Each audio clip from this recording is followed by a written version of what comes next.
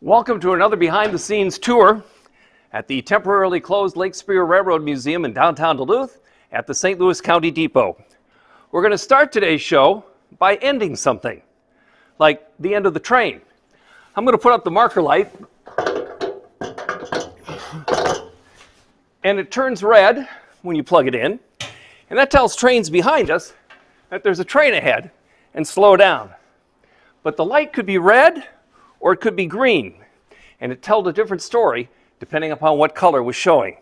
And I'll tell you that as we continue. Marker lights are like a period at the end of a sentence. They follow the last word. The same thing is true in railroading. This is the last car of the train, and it's carrying the marker lights. In this case, beautiful Art Deco teardrop shaped lights. Not like the round ones you found on the car Northland when we were looking at that one. These, these are pretty cool.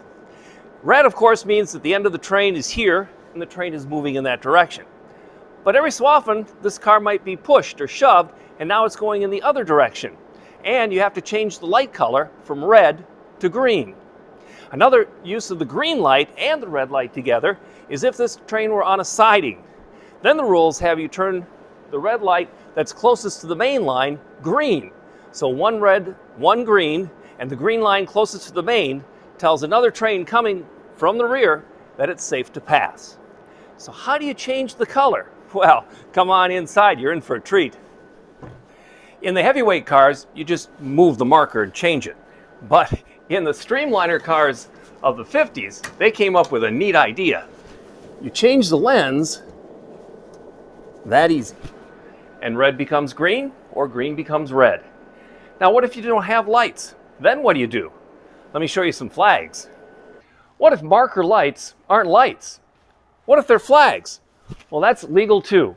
We're on a caboose at the end of a train, and we've got a flag up. It's green. That could mean one of two things. Remember what we learned. It could mean that the train is going this way and the caboose is being pushed. Or it could be that we're on a siding and the main line is right here, and that way another train coming will know that it's safe to pass. When marker lights are flags. Now, here's a marker for you to remember. Always wash your hands, cover your coughs. It's not a task to wear a mask. I keep telling you, Josh is way over there. We're safe. You be safe as well. Keep that social distance and take care of each other.